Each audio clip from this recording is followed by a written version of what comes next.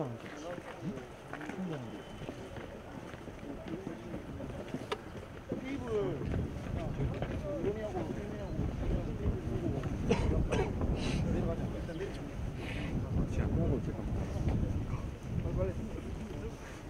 말이 필요 없잖아. 요새 하는 거야.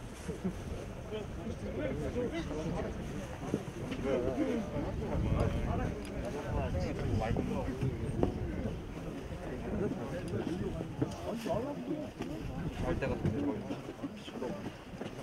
저 차에 싣고 뒷길이 하자.